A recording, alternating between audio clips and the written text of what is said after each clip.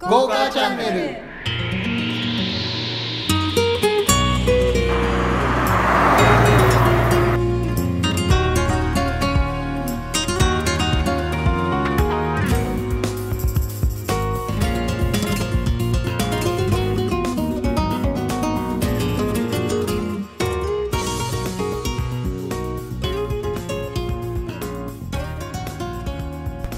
はいでは TTRS 実際に、えー、1回ドアを一番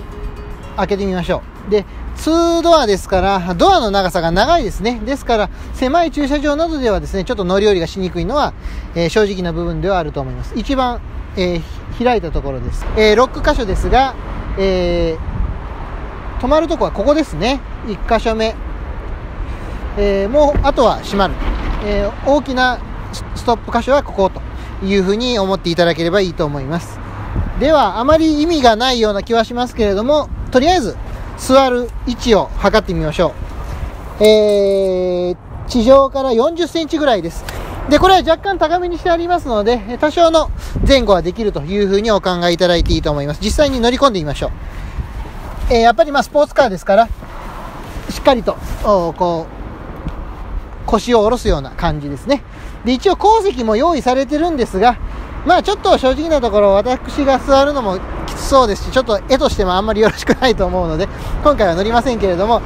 えー、そうですね、まあ、お子様ぐらいでしょうか、えー、頭上もこうなってますから頭が詰まってしまいますので、えー、あくまでも鉱石は補助席程度かなというふうにお考えいただくといいと思います。では密室空間を見ていきましょう。はい。では TTRS のトランクルームですけれども、えー、電池のスイッチで、えー、簡単に開けることができます。で、トランクルームですが、まあまあこういうデザインですから、それほど広いわけではありませんけれども、まあ、なんて言うんでしょうね。十分なサイズ感はあると思います。持ち上げるのには、だいたい83、4センチ上げてください。えー、入り口の一番狭いあたりで70センチぐらいですね。広いところだともうちょっとあります。まあ、97センチとか8センチとか、そんなところです。で、奥行きなんですが、こう1個深くなってまして、82センチあります。で、これシートが倒れるようになってまして、ここのレバーで軽くこう押せば簡単に、えー、倒れましたね。で、こうなれば、あこれも外れるんですが、外しましょうか。これの方が見やすいですよね。えー、この状態で、まあこれ全席のシート位置にもよりますが、私のシート位置ですと、えー、140センチぐらいというふうに思っていただければいいと思います。まあ買い物かごは普通にこう乗りますし、えー、便利な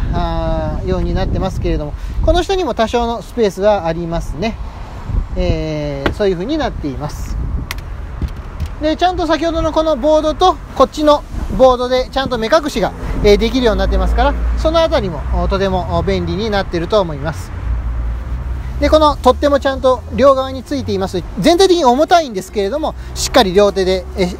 こう下げることができるのも、えいいポイントだと思います、えこれリアスポイラーついていますがこの車はこう固定式ですね、えこういうトランクルームでした。